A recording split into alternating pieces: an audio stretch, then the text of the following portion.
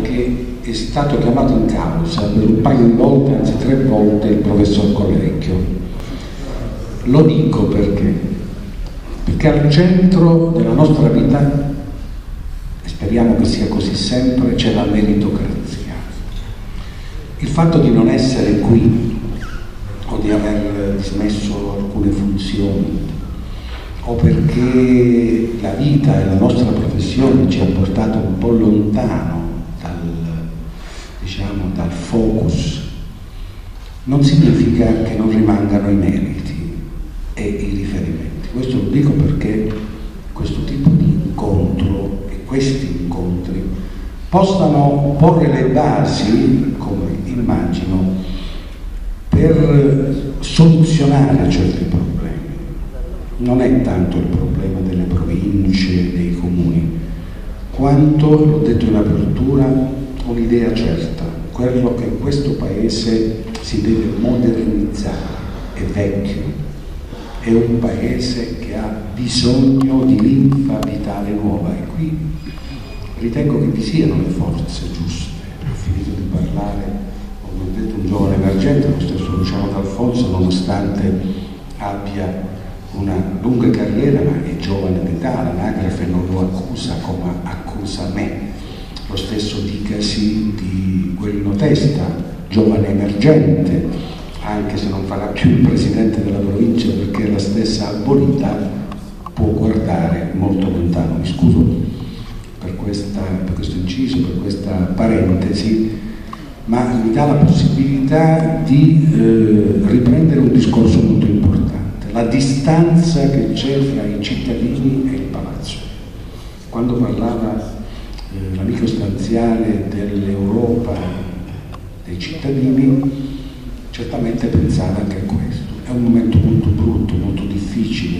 Il governo dei tecnici c'è perché l'ha voluto la politica, quindi è molto importante chiarire come possiamo arrivare ad un'Europa dei cittadini, anche perché poi questo incontro si chiuderà, io faccio il giornalista, non mi posso esimere dalle tentazioni, quello che alla fine dovrò fare una domanda sul ahimè lo dovrò fare. Quindi io direi che Guerino Testa intanto lo vorrei ecco, sollecitare a parlare di questa distanza che c'è, come ritiene lui che si possa avvicinare sempre più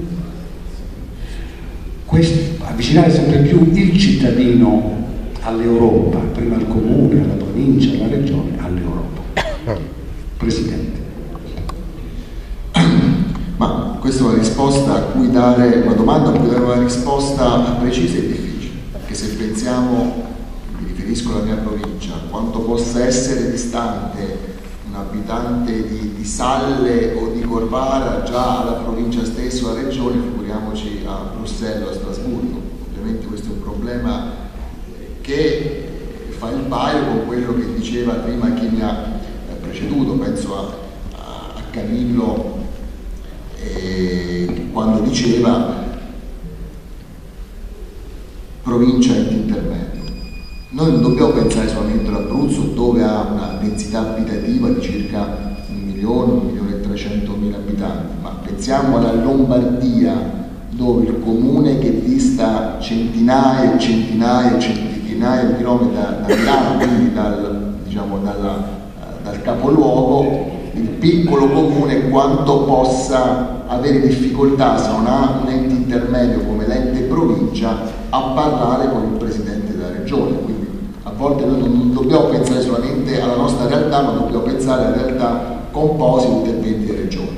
Ovviamente oggi parlare d'Europa, l'Europa è, è nell'agenda di tutti, di tutti i comuni, oggi anche il comune più piccolo vede un'Europa che deve essere eh, in qualche maniera spremuta per attingere a finanziamenti perché oggi eh, l'Europa viene vista forse come il, il primo bersaglio da, da attaccare in quanto oggi io parlavo all'inizio la mancanza, l'esiguità di risorse finanziarie fa sì che se tu vuoi fare qualcosa per la tua comunità, se non hai possibilità economiche, se non puoi ricorrere all'indebitamento, perché poi anch'io ovviamente saluto professor Collerecchio che fino a pochi anni fa era stato anche il direttore generale di questo ente, non puoi ricorrere a strumenti finanziari innovativi perché poi c'è un livello di indebitamento il quale non puoi andare, c'è questo fastidiosissimo patto di stabilità che forse i cittadini non conoscono, anche noi politici spesso non lo conosciamo, con il quale tu devi fronteggiare e quindi devi cercare di trovare delle vie di uscita e queste vie di uscita le può consentire solamente l'Europa. Però è facile dire durante le campagne elettorali che si punterà molto sui bandi europei, si punterà all'Europa, però dopo quando cali, ti cali nella realtà che vai a governare vedi che poi all'Europa c'è una rincorsa, c'è un, tutti corrono verso Bruxelles per attingere risorse, però dopo pochi sono quelli che hanno, che hanno la possibilità di portare avanti alcuni, alcuni concetti. Oggi io ritengo che ci sia ancora molta strada da fare per far sì che i cittadini si sentino eh, cittadini europei non c'è ancora questo spirito europeo che aleggia su tutti noi, c'è ancora una, una distanza eh, siderale, anche perché io ritengo che molti, eh, non solo i cittadini ma anche noi addetti ai lavori, non conosciamo in maniera precisa quali sono le funzioni dell'Europa, cosa fa un ministro europeo, eh, quali sono proprio eh, le deleghe che i nostri eletti in Europa possono sfruttare e possono in qualche maniera, le leve che possono azionare. Quindi si deve ancora fare molto sotto questo, sotto questo aspetto. Però eh, in un periodo complicato, come diceva giustamente il direttore Labbarile, dove l'Europa va in qualche maniera anche dall'alto a, a gestire i, i, vari, i, vari, parametri, i vari equilibri, i vari meccanismi nazionali, l'Europa non deve essere un contraltare, nemmeno un nemico, ma deve essere un amico con il quale deve interfacciare quasi quotidianamente perché poi le sorti di una nazione non prescindono da quello che accade nel resto della comunità europea stiamo vedendo come negli ultimi, negli ultimi, negli ultimi mesi soprattutto eh, il futuro dell'Italia, il futuro della Grecia, il futuro anche di nazioni che sino a qualche mese fa avevano diciamo, orbitavano su altre, su altre direttrici, non avevano problemi, oggi sono stati tirati in ballo dall'Europa dei problemi che l'Europa ha e quindi devono in qualche maniera lavorare e qui c'è il discorso di sussidiarietà, di solidarietà, di cooperazione che ci deve essere all'interno tra le varie nazioni. Quindi io dico e mi accingo alla conclusione di questa seconda, seconda battuta come l'Europa è fondamentale, però la cultura Europa deve essere ancora alimentata e deve essere ancora conosciuta. Ringraziamo il eh, Presidente Testa. Passo la parola a Luciano D'Alfonso, naturalmente mh, mm, ho già detto sull'Europa eh, dei cittadini, di questa distanza che c'è purtroppo tra i cittadini e l'Europa, sono convinto che D'Alfonso da par suo ci dirà e rifletterà con tutti noi. D'Alfonso.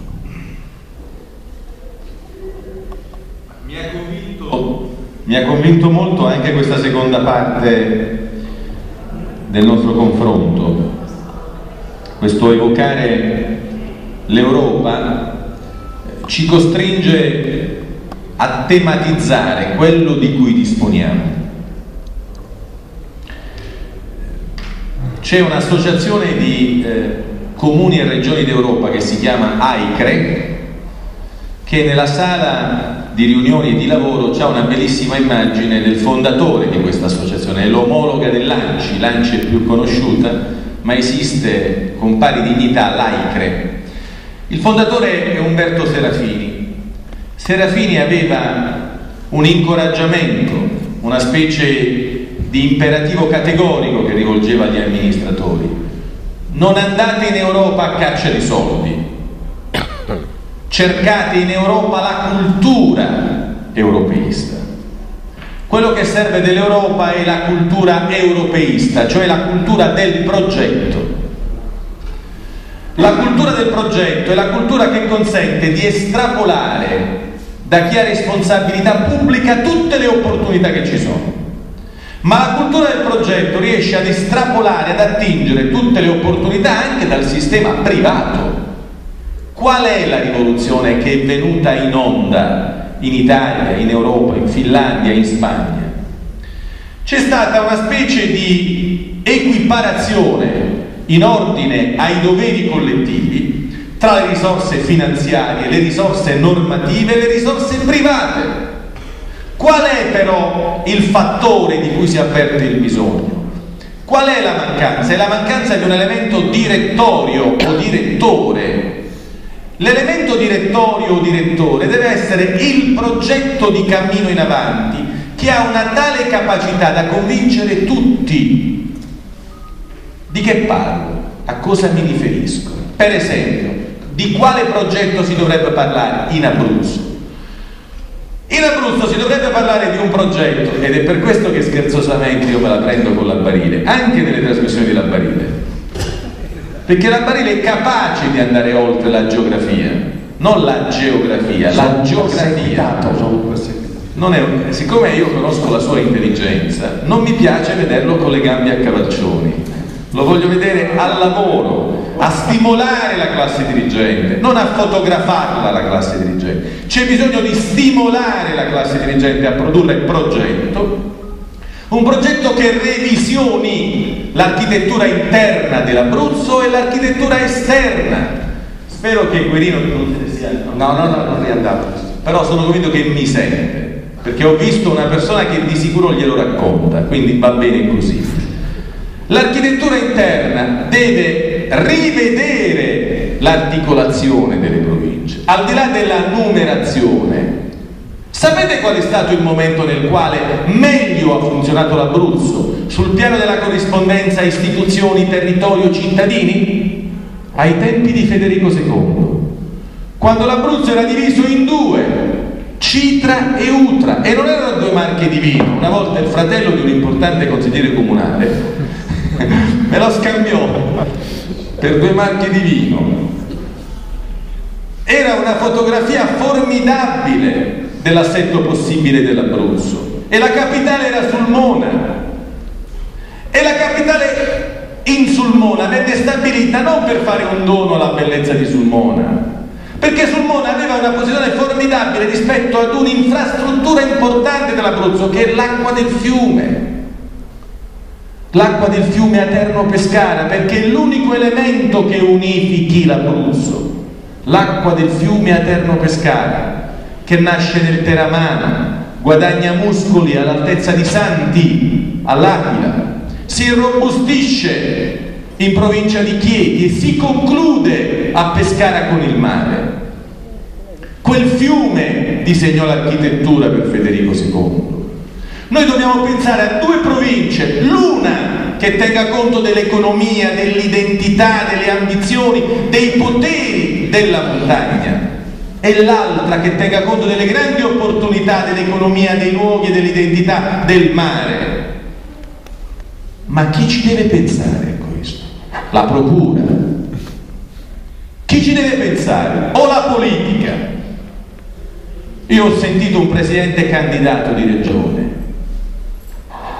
che diceva assicuro una webcam, una camera tecnologicamente attrezzata che registrava tutto e tutti, una specie di facilitazione del lavoro inquirente.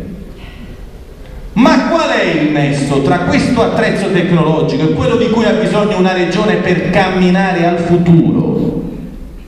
C'è bisogno di produrre idee, di intercettarle le idee e poi di nutrire con le idee il progetto. Vedete, l'architettura interna è questa. L'architettura esterna è quella che evochi un'alleanza di regioni.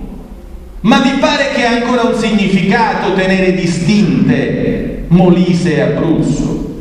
E non stringere la mano alle Marche e non fare patti insieme il che non significa rinunciare alle carte intestate, il che significa fare, Moro parlava quando parlava di Europa, di Europa a due velocità, parliamo di segmenti, di geometrie differenti di alleanze. Ma la ferroviarizzazione ulteriore di cui ha bisogno questa regione, chi ce la dà? La procura. O ce la dà il progetto, l'ulteriore ferro di cui ha bisogno questa regione. E ce la dà il progetto di alleanza Molise, Abruzzo e Marche.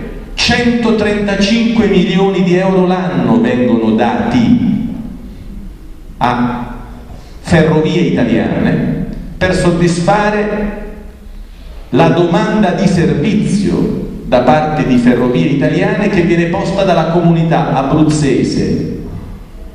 E poi, c'è quello che viene dato dal Molise e poi quello che viene dato dalle Marche.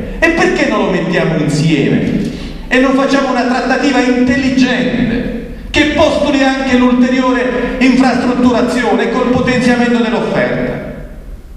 Qual è la cosa più importante per un cittadino oggi? Io mi sono segnato tre appunti. La qualità della vita oggi nel rapporto sistema-regione o sistema istituzionale, ambizione, appetito, aspettativa di cittadinanza, secondo me si può postulare con queste quattro categorie. Accessibilità della conoscenza, natalità imprenditoriale, velocità negli spostamenti e lentezza nei rapporti umani. Per quanto riguarda gli spostamenti, ma crediamo ancora alla gomma individuale o alla gomma multipla, collettiva? Non vi pare che la qualità di un territorio derivi dalla qualità e dalla quantità dell'offerta ferroviaria? E come accade questo? Con quel dibattito incomprensibile, FAS, master plan, FAS, master plan, Giargianesi in dialogo perenne ma stiamo scherzando?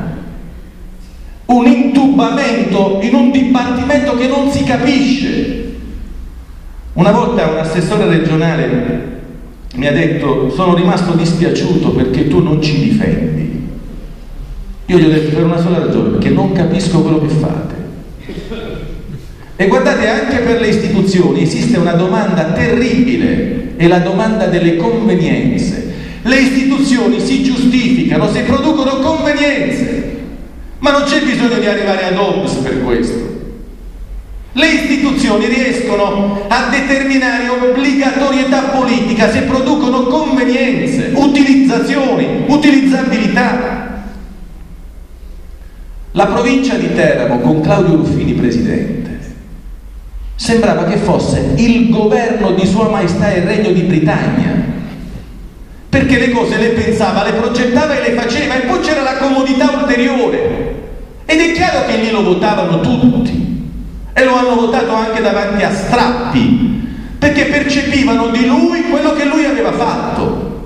Ha avuto la fortuna di non avere davanti a sé gli invidiosi, perché poi se incontri gli invidiosi si rallenta il lavoro, si blocca anche l'entità della spinta. L'alleanza dei territori, Abruzzo, Marche e Molise, pensate voi al corridoio adriatico, pensate voi all'invalidità dei nostri porti. Noi non possiamo arrivare a produrre un'autorità portuale perché ci manca il tonnellaggio, considerati nelle nostre separatezze. E se ci mettiamo insieme? E se ci mettessimo insieme? A che serve mettersi insieme? A partecipare al piano di riparto dei fondi nazionali per le manutenzioni, per le valorizzazioni, per la commercializzazione dei nostri porti. Guardate che nei nostri porti, a parte il problema che si vede, c'è anche un piccolo problema micidiale, la gestione degli oli esausti. E non c'è un soggetto che si occupi degli oli esausti per dirvi che quella è una landa deserta e desolata, cercata, senza nessuna possibilità di funzionare, perché non c'è nulla che attrezzi. Io da consigliere regionale e poi da sindaco ho fatto una proposta di legge per insediare l'agenzia portuale regionale che stabilisse ad ogni nodo una risposta, concludo. Ma è impossibile promuovere la logica del patto 30 anni fa tutto si faceva in maniera autoritativa. Qui c'era un vice segretario generale molto bravo che si chiamava Pasquale Tribuzio, mi si prendeva sotto le sue cure e mi spiegava che cos'è l'atto potestativo. Oggi l'atto potestativo non serve più, non vale più, non lo cerca più nessuno, è incapace di produrre effetti. Oggi l'atto che vale è l'atto che procede e produce concertazione, convergenza. A Milano non si parla più del piano regolatore che produce come le mitraglie le concessioni edilizie. Ci sono i piani strategici che mettono insieme risorse pubbliche e risorse private, facilitazioni, semplificazioni, questo però pretende la dimensione della politica, non solo la tecnicalità. Concludo davvero. Vedete, mi piacerebbe tanto che si facesse un dibattito, ripreso anche dalla televisione, anche da quella fantomatica webcam. E davanti a questo dibattito la domanda campale dovrebbe essere, se tu potessi fare una sola cosa, quale sarebbe la cosa che tu faresti con una bacchetta magica? Questa è una bella domanda. Con questa domanda, per esempio, hanno fatto fuori fiori di candidati sindaci e presidenti di regione in Spagna. A Pasquale Maragall gli hanno chiesto lei se dovesse fare una cosa e su quella cosa lei dovesse essere giudicato, quale sarebbe la cosa che lei farebbe? E che io su questo la voglio dare una risposta. Mi sono fatto anche la domanda, è il classico dei miei abusi, faccio e faccio ancora, sappiamo.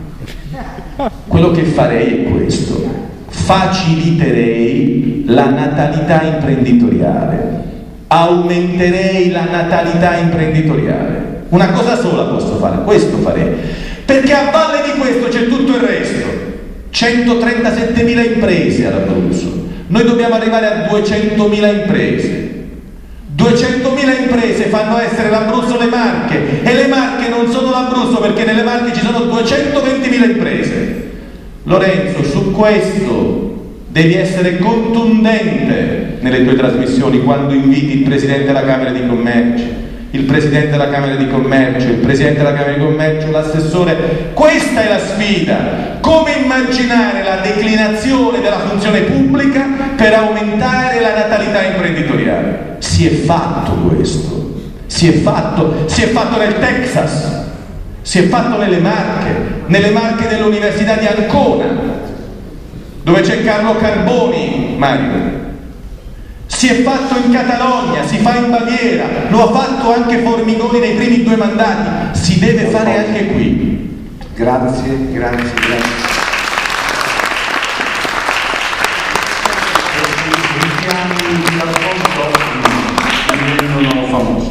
Allora, eh, no perché ieri poi chiuderò, perché ieri sera c'è stato un, un intervento molto interessante del consulente della Merkel, del Presidente della Repubblica eh, Germania, che andava, parlava di etica e di economia, lui come professore si diceva tu o studi economia o studi l'etica. Invece lui, andando a scomodare Emanuele Kant, ha dimostrato che invece le opportunità ci sono quando si fonde economia e etica. È stato veramente un intervento di grande interesse. Dice, ma perché eh, hai parlato di questo? Lo dirò alla fine. Eh, Alessandro. Mi lascio spaziare. No, non lascio spaziare. Vorrei che potessimo chiudere questo sì. discorso della distanza che ho posto come domanda fra eh, il cittadino e l'Europa eh, per cercare, proprio detto da un giovane, da un giovane intelligente, quale Alessandro, cercare di capire qual è la sua posizione, perché poi dovremo chiudere passare dalla poesia alla prosa.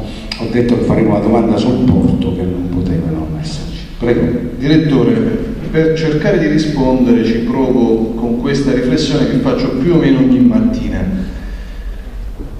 Io mi interrogo circa il mio ruolo, seppur oggi all'opposizione, ma come può essere oggettivamente utile, necessario a fare in modo che quello che c'è non rimanga esattamente com'è e si aggiunga qualcosa in più, o si levi qualcosa che non funziona o ci si metta qualcosa che funziona. Questo è il tema che pone un amministratore governa una provincia, un comune, un legislatore regionale.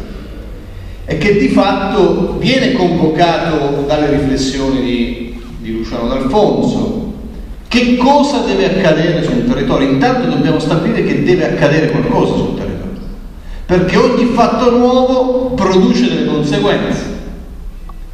In Abruzzo non accade nulla di nuovo e non solo in questi tre anni. Non accade nulla di nuovo più o meno dal 1990-92. D'Alfonso in qualche sua riflessione pubblica dice da allora ad oggi mancano 50.000 nuove opportunità di lavoro, ne mancano di più, perché a quelle si sommano eh, ciò che ha provocato la crisi.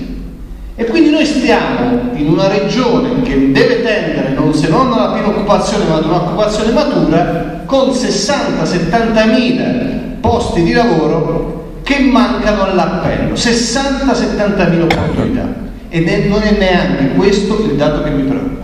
Il dato che invece mi preoccupa, questo sì, da tre mani poi, se quel 22, 23 ogni anno diventa 24, 25, 26% dei cosiddetti inattivi, il popolo invisibile, coloro i quali la mattina si alzano, non studiano, non lavorano, non cercano un posto di lavoro perché credono che per loro questo non è il proprio tempo. Per cui si alzano la mattina e sanno che non gli tocca nulla, che non conviene occuparsi della propria vita perché non c'è nessuno che si occupa della propria vita. Parlo delle istituzioni, parlo della politica, qui si annida la distanza, perché poi questi sono quasi sempre figli e nipoti di nonni che li devono campare. È qui che si annida il male della distanza che fa giudicare inutile tutta la politica.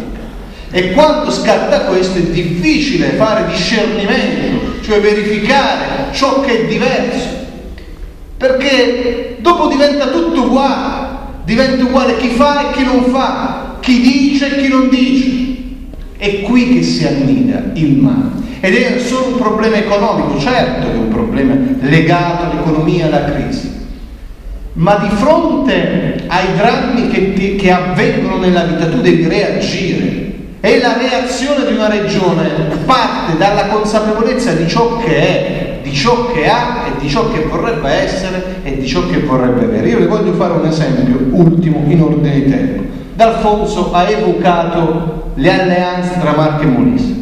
Noi le abbiamo in un convegno, prendendo a spunto una sua riflessione che poi Confindustria ha sviluppato fino a un certo punto, la Marca Adriatica. L'abbiamo portata a Teramo, abbiamo chiamato il Presidente della Regione Marche. Mentre in Abruzzo si è aperto pure un dibattito circa l'opportunità di mettere insieme il nostro nord e il nostro sud, cioè le nostre prossimità, per cercare di contare di più dentro il contesto nazionale ed europeo, per esempio per la partita dei porti e non solo, L'altro giorno il presidente Spagna e il presidente Marini dell'Umbria firmano un emendamento congiunto e lo presentano alla Commissione di politica di coesione territoriale della Commissione europea e candidano la Fano Grosseto ad essere il collegamento dell'Adriatico col Tirreno e lo fanno nella sede deputata, cioè in quella commissione. Manca la firma dell'Abruzzo, sa che significa questo?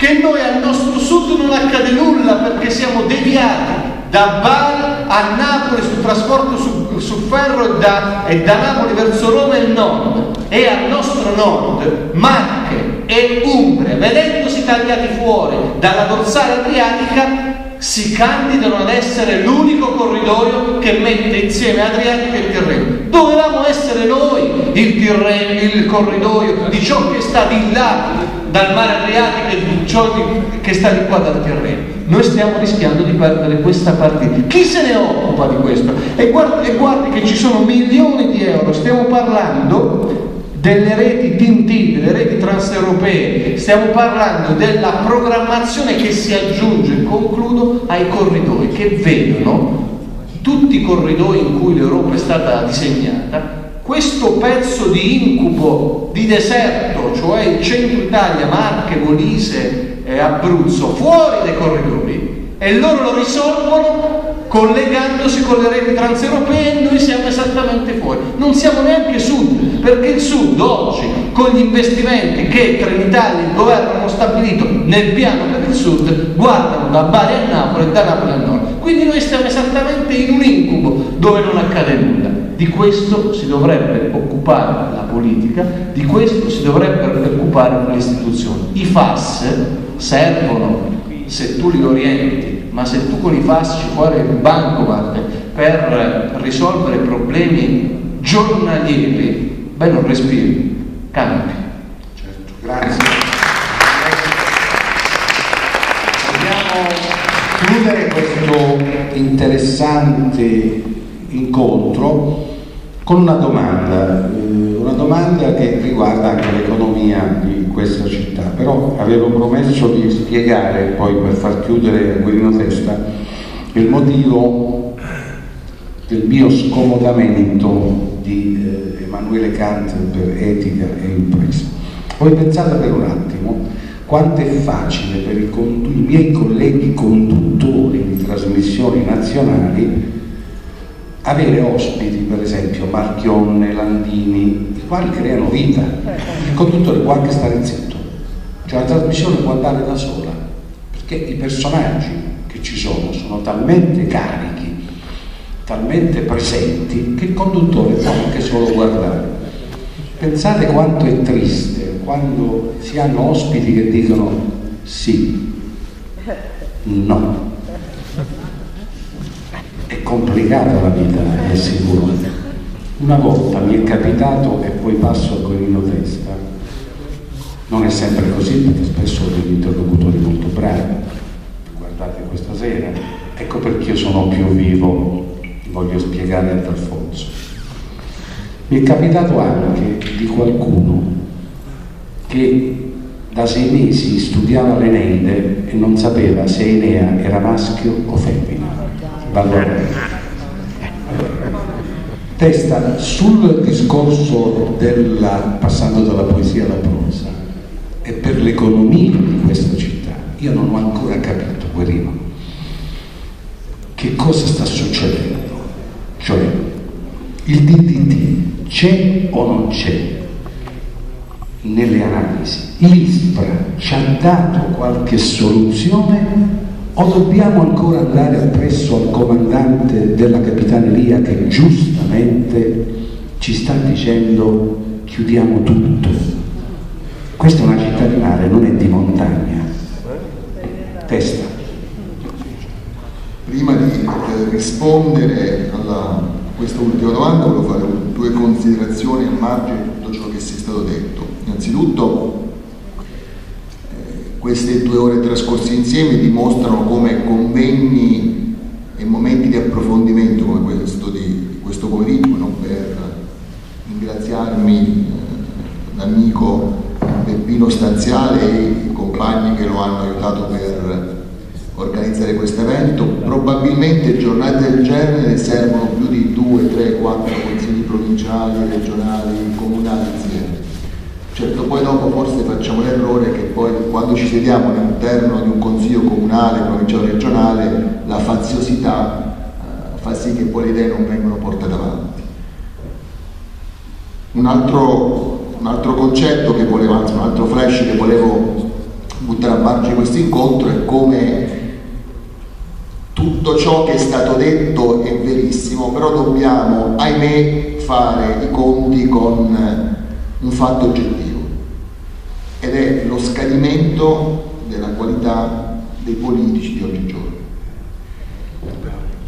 Io faccio un riferimento che forse eh, in questo, tranne eh, stanziaggio tra chi oggi fa politica più o meno attiva, attiva tra me, Camillo e Luciano, forse Luciano D'Alfonso eh, è di qualche anno più eh, anziano di noi, però è più anziano, detto prima però un'esperienza sicuramente importante e probabilmente ricorderà come ai tempi della democrazia cristiana anche eh, l'ultimo degli ultimi, quello che forse ne avessimo un cantuccio, oggi sarebbe stato uno dei primi. Io faccio riferimento all'anno 2003 quando io ho iniziato a fare politica all'interno eh, del consiglio comunale di Pescara, quando Gian Alfonso era sindaco, eh, io e la mia amica Nicoletta era, eravamo diciamo i pivellini del Consiglio Comunale, non sapevamo leggere e scrivere. E c'erano, io parlo del, del centro-destra, piaccia o piaccia, c'erano senatori, sottosegretari, eh, consiglieri regionali, quindi persone che davano lustro al Consiglio Comunale.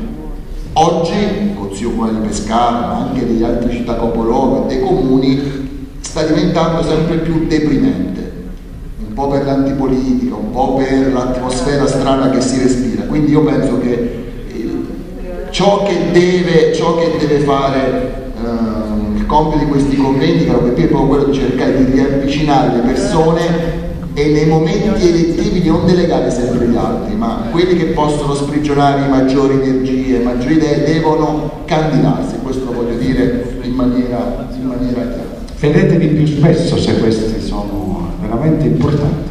Per quanto concerne la domanda del porto, io sotto questo aspetto voglio alzare in piedi per, e chiedo non solo a, agli amici relatori ma alla platea di portare 5 minuti di, di pazienza perché quello che si sta vivendo è una situazione paradossale, kafkiana che penso difficilmente si potrà vivere. Vedo anche Paolo Marcheggiani, consigliere comunale di Pescara, che, al quale interessa sicuramente, così come al pari di tanti cittadini, le sorti del porto di Pescara. Luciano ti chiedo anche a te di, di, ascoltare, visto che tu poi hai sempre detto che delle infrastrutture sei innamorato e quindi sei innamorato anche del porto di Pescara. Io non faccio la diagnosi per dire se sono stato bravo in questi mesi o se sono stato un asino, ma riporto fedelmente, peccato che il presidente direttore dell'Alta, l'amico Mario Micone, sia andato via, però anche lui poteva testimoniare quello che sta accadendo perché io ritengo che forse non solo i politici o i giornalisti, ma la maggior parte dei cittadini di Pescara, ma anche delle, dei comuni confinanti, non sa cosa sta accadendo. Il 20 giugno 2011, sono brevissimo direttore, sono stato nominato come PCM, quindi da parte della Presidenza del Consiglio dei Ministri, commissario ad acqua, commissario straordinario del porto di Pescara, da lì è stata fatta una, uh, una battaglia giornaliera con il Ministero eh, dell'Ambiente fino ad arrivare al 28-29 settembre scorso quando il Ministero dell'Ambiente, sulla base di analisi effettuate dall'ACTA, nostra agenzia regionale che sono state validate dall'ISPRA, che è l'organismo principe del eh, Ministero dell'Ambiente, ci hanno dato la, l'autorizzazione per iniziare l'attività di dragaggio e di conferimento in mare di circa 76.000 metri cubi. Noi dobbiamo scaricare dal porto di Pescara circa 400.000 metri cubi, che sono dislocati tra il porto canale, la canalina per capirci dove esistono i trabocchi e la darsena commerciale dove entra la SNAP dove entrano le pettoline per fare il carico di, eh, di petrolio. Abbiamo, abbiamo, la possibilità di scaricare 116.000 metri cubi, abbiamo ridotto a 76.000 proprio per cercare di avere meno problemi. Abbiamo nel frattempo dal 29 settembre avuto al 12 eh, dicembre, data in cui è iniziata l'attività di dragaggio, avuto altri problemi con il Ministero che ci ha imposto dei vincoli sempre più stringenti per fare un monitoraggio pre, durante e, eh, e post dragaggio, abbiamo dovuto acquistare dell'attrezzatura costosa che proviene dalla Svezia perché solo in Svezia c'era e il 12 dicembre, ahimè, abbiamo iniziato l'attività di dragaggio. Dragaggio e non di conferimento in mare perché dopo un'ora e mezzo la, eh, la Procura dell'Aquila, il distretto, distrettuale eh, antimafia della, della Procura dell'Aquila, ha sequestrato la barca, la motonave e ha sequestrato anche. Dopo un'ora e mezza che si stava iniziando a fare l'attività di dragaggio. Io il giorno dopo, parlando con i noti, parlando con il sostituto procuratore, ho detto io non sono guerrino testa SRL, io sono comunità, un commissario di governo, quindi ci dovrebbe stare la collaborazione tra enti. Perché non mi avete detto che c'era una, una qualche, qualche esposto, c'erano delle analisi che voi avevate che andavano in contraddittorio con quelle che davo l'alta? Io non, facevo le imbarcazioni, non, non acquistavo la strumentazione della Svezia, non spendevo in qua sostanza soldi pubblici, non sono soldi di Guidino Testa, parliamo di soldi pubblici. E sino ad oggi abbiamo impegnato circa un milione e sette, un milione e ottocento di euro, perché le analisi dell'alta costo, perché esiste un tariffario eh, regionale, perché eh, fare 76.000 metri cubi di dragaggio costa circa 800.000 euro, perché utilizzare l'Università dell'Aquila costa e quindi sono tutti costi che non abbiamo ancora sostenuto ma abbiamo impegnato. Quindi in buona sostanza dopo un'ora e mezza di attività di dragaggio è andata in onda questa scena che vi dico mi ha fatto quasi venire lacrime agli occhi perché dopo tanti mesi di un lavoro, vedete, arrivare in banchina con un sequestro così da, da film, da, da fiction, un po', anzi molto indispiaciuto. E da lì ad oggi nulla è cambiato situazione è rimasta identica, pur essendo stato convocato a Roma svariate volte, oggi mi sono alzato varie volte perché parlavo prima con Correlli, che probabilmente vice del prefetto Gabriele, ho parlato con sottosegretari, con ministri, con il prefetto Gabriele più volte, con l'Istra, con l'Alta. In buona sostanza siamo arrivati poi al 13 gennaio, dove in prefettura, quindi con la presenza del prefetto, dell'Ispra, dell'arte, del sottoscritto, dei noi e della società incaricata in un laboratorio privato eh, Carapala di Brescia, da Indam SRL, siamo arrivati a dire fatemi sapere quali sono state le metodologie usate, le mettiamo in comparazione e poi diamo il veto. L'ISPRA dal 13 dicembre, gennaio scorso ad oggi, questa sera i tecnici dell'ARPA hanno terminato alle 10 e mezza alle 18 e 15 circa riunione a Roma, ancora nell'ISPRA, nell'ISS, Istituto Superiore della Sanità, è riuscito a dire se all'interno del porto canale di Pescara esiste o meno il DTT. Ve lo ricordate il DTT? Che secondo molti, io sono ignorante, ma secondo molti tecnici, oggi mi sono incontrato pure con un professore di archeologia all'estero di Pescara, non esiste da almeno vent'anni, però oggi c'è un esposto fatto il WWF, rispetto nei confronti delle, delle associazioni ambientalistiche, però capiamo bene che se oggi vogliamo avere anche una, una stagione più progredita dobbiamo in qualche maniera cercare di correre tutti nella stessa direzione perché se qualcuno mette lo scappetto, in questo caso la città di Pescara e Giacomo, che probabilmente non si rialzeranno più. Cosa vuol dire questo? Che la marineria è andata in parte ad Ortona, in parte a Giulianova, che la Stato probabilmente nemmeno quest'anno tornerà, ma non per problemi di natura politica o perché può darsi al posto mio ci poteva essere uno più bravo o meno bravo, ma la posizione sarebbe stata esattamente la medesima. Abbiamo indotto circa 20, 30, 35 milioni di euro che probabilmente non si verifica, non avrà le gambe per camminare. E poi io mi domando, eh, questa mattina insieme al, all'amico Mario Nicole siamo andati alle 9 di mattina a terra a parlare con il Presidente Pioli, al quale ho detto. A questo punto, dico pure a te, caro Camillo, forse è meglio che l'ARTA la, la, la sopprimiamo, perché se l'ARTA, che è l'ente regionale per eccellenza, dove sulla base nazionale l'Arta Abruzzo viene considerata tra le migliori ARTA o ARPA regionali, che fatta da tecnici di livello. Oggi c'è un direttore tecnico Giovanni Fabiani che molti conoscete, che si è fatto fino alle 18.15 per il porto di Pescara.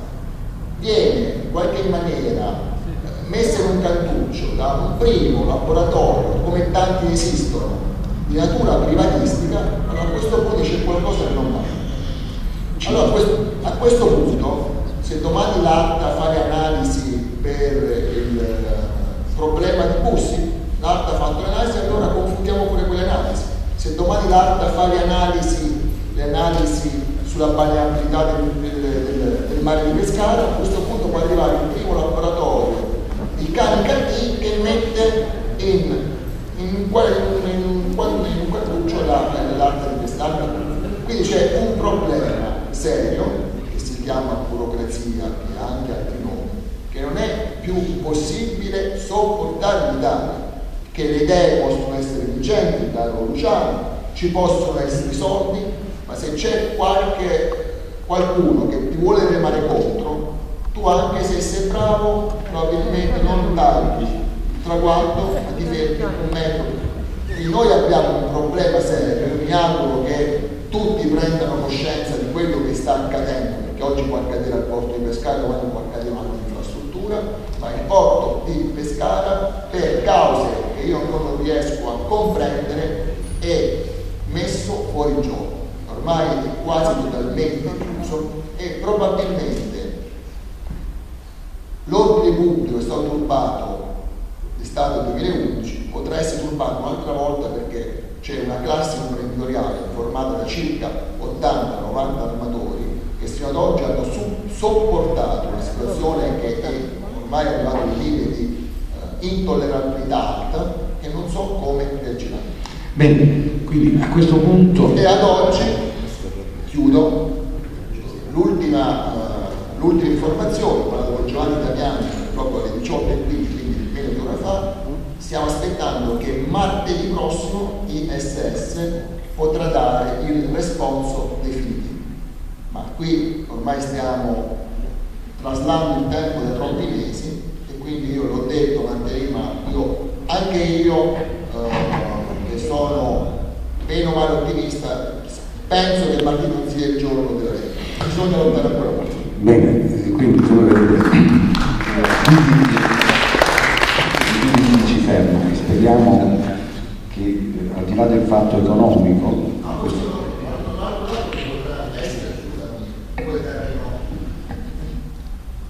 che ho messo quando noi abbiamo avuto io come commissario l'autorizzazione per iniziare a dragare e confermare questa autorizzazione si è basata su analisi effettuate dall'ARTA e validate dall'ISPRA oggi l'ISPRA mi dice no, le analisi dell'ARTA vuole doppia un cantuccio perché c'è qualcun altro che ha detto che i valori sono totalmente diversi.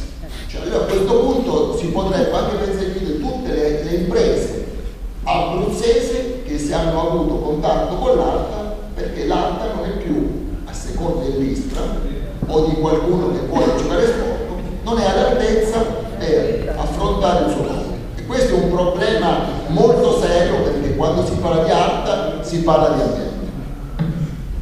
Bene, io vorrei chiudere con delle battute veloci perché siamo proprio in chiusura, anche perché poi vorrei far riflettere tutti voi. Questa è una questione economica. Pensate per un attimo alle cinque terre, cioè, pensate ad una eh, piogge violentissime e a fatti di quel genere, con la situazione che c'è, sono cose serie, no? quindi bisognerebbe riflettere ancora di più. Eh, io voglio dire una cosa che andrebbe detta col microfono solo per farla sentire, poi andrebbe detta in silenzio. E quella che dico ha una sola direzione di marcia. Io non ritengo che Guerino Testa abbia eh, scontato dei ritardi o delle inadeguatezze. Io però penso che ci sia stata una risposta istituzionale al problema del porto assolutamente non all'altezza. Vediamo di metterla in filo. Per, quando venivo qui, l'unico argomento sul quale mi sono concentrato è questo. Adesso cerco di pesare le parole perché io devo fare salva la coerenza rispetto alla funzione svolta dalla tua persona e non per dovere di cordialità, perché lo penso sinceramente e poi ti dico anche perché. Però dall'altra parte vuole essere chiaro in ordine ad un atto intelligente di accusa che io faccio, ma è un atto di accusa eh, che si porterebbe dietro di sé una serie di attenuanti, perché ho la sensazione veramente di una serie di casuali che si stanno occupando di questo problema.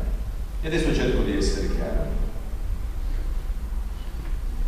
Vedi Guerino, tu hai avuto un risultato importante che per esempio a me, Presidente della provincia e Sindaco di Pescara, i miei compagni di partito che io ho fatto eleggere Presidente della Repubblica due volte, due volte, Falcone e poi Del Turco, mai mi hanno reso possibile. Io dissi che avrei voluto poteri commissariali per bonificare il fiume Pescara, evitando che venisse uno da Norimberga, ancorché amico mio, a fare questo lavoro. E poi dissi che volevo essere nominato commissario con tempi stabiliti per mettere mano alla vicenda degli eventi sportivi internazionali, perché l'avremmo potuto fare meglio noi di qualsiasi altro. E anche allora chi si è costituito contro era il Presidente della mia regione, per ragioni di competizione sciocca politica. Perché poi per vincere le elezioni ci vogliono i voti dei cittadini, non ci vuole l'incastro ingannevole. Su questo tu sei stato trattato meglio e ti va riconosciuto meglio, probabilmente anche perché diciamo tu ti sai guadagnare una maggiore concordia, determini un minore spavento, non lo so, il supplemento di educazione che hai, te lo riconosco a me. Dov'è che invece non ci siamo? L'Emilia Romagna, quando ho un problema, Mario Colledetti, non lo cito per metterlo sul registro degli imputati, quando l'Emilia Romagna ha un problema, a Roma non gli chiede più i soldi, a Roma gli chiede i soldi che gli tocca e quelli sono scontati, poi gli chiede le risorse normative, le precisazioni normative, gli emendamenti, testi di legge che vanno nella finanziaria, nella variazione di bilancio dello Stato che è una legge, in tutti i provvedimenti riguardanti l'accelerazione dello sviluppo ci sta sempre tre righe riguardanti questa o quella priorità dell'Emilia, questa o quella priorità della Lombardia, delle Puglie della Campania. Come si fa ad avere questo lo si ha o lo si aveva prima quando si aveva un gigante nella terra d'Abruzzo ed era Gaspari qui che l'avrebbe potuto fare lo ha fatto. Qui le autostrade Pescara-Roma sono nate non perché è arrivato uno con un mucchio di soldi a fare le autostrade, perché alla fine la storia dell'autostrada è una storia di vendita allo Stato delle centrali di produzione di energia elettrica, di incasso dei buoni postali e di reinserimento di quei flussi finanziari in quell'investimento. Ma non fu questo che fece l'autostrada, fu una norma che venne raggiunta da Gaspari, da Natalia, dall'onorevole l'ex Missino, l'ex parlamentare Missino di Pescara, Delfino. Le norme. Qui c'era bisogno di organizzare un patto per produrre norma. Il dramma qual è? Non che non l'hanno fatto, Mario o Guerrino e che non hanno mai pensato che andasse fatto. Questo è il dramma. A letto Nobile c'è un'espressione, però non la posso usare, che è violenta. È una storia attorno ai ciechi. È una storia attorno ai ciechi, ma non si può usare. Oggi non abbiamo il gigante e può accadere che una terra per un periodo non abbia la grandezza di uno che sviluppi rappresentanza. Che cos'è che abbiamo che non va usato, che non viene usato purtroppo. Il presidente della regione, Lorenzo Lambrino, una volta al mese siede nella conferenza Stato-Regioni e lì tu non ci vai da cittadino di Fontamara a parlare con quello lì. Errani, Rossi, Formigoni, quando parlano in sede di conferenza Stato-Regioni, financo Iorio, il mio amico Iorio, parla alla pari col ministro e al ministro tu gli dici io ho bisogno di quella norma, il problema è l'inadeguatezza della norma. C'è una inadeguatezza della norma e c'è una superfetazione amministrativa. Lui è un commissario superfetato senza la norma. Questo è il punto. Anche questa è una discussione di parole, master plan e fase. Guardate, tolto il vestito, sono soldi pubblici come arrivavano 30 anni fa dal bilancio del tesoro dello Stato. Ma stiamo scherzando i dibattiti che si fanno su queste parole. Che cos'è che va fatto? Stabilire le priorità. È il compito della politica, stabilire le priorità. E non c'è ombra di dubbio che qui la priorità è il porto. E non c'è ombra di dubbio che si può andare a parlare col, oh, insomma, io, col procuratore capo dell'Aquila col ministro di grazia e giustizia, tentativi utili non risolutivi. E poi la norma ci vuole, la norma. Noi abbiamo in Abruzzo 17 parlamentari. Il 10% di questi 17 sono capaci di essere utili no. a condizione che vengono edotti, condotti. Il 10% sono 1,7.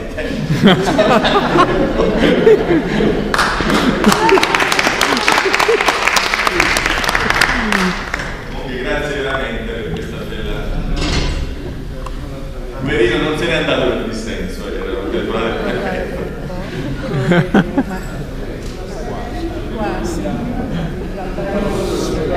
Allora, grazie a tutti, eh, vi annuncio il prossimo convegno, politica e partiti. Non è fuggito il moderatore, grazie, felice sera a tutti, arrivederci.